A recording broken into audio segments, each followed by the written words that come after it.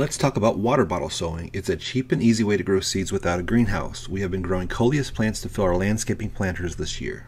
By collecting and saving our water bottles, we kept the tops and rinsed the water bottles out so they would be ready to start planting our seeds. Now you will need some scissors to cut down the water bottles to fit over the top of each other nicely.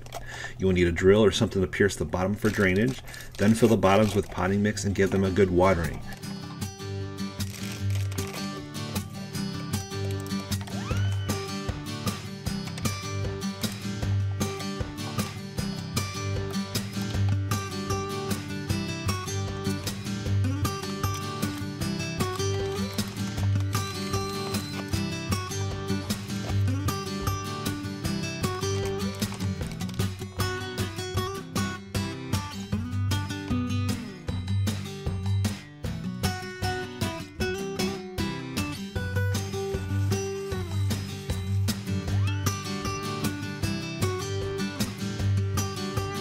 Next, you will want to plant the seeds as recommended on the seed packets.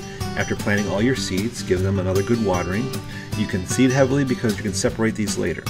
Now for the lids.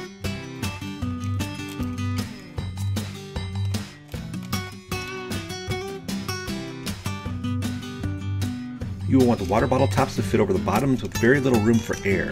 Make sure the caps are tight and the top fits the bottom snug. This will help to get the greenhouse effect and to warm the soil for proper seed germination.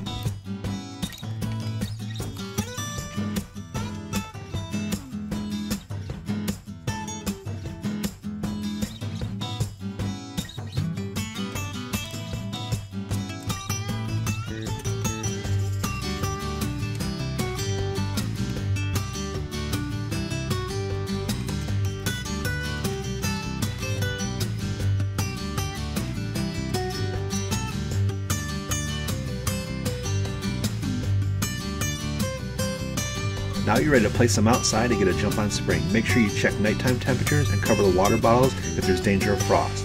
Time to sit back and watch them grow.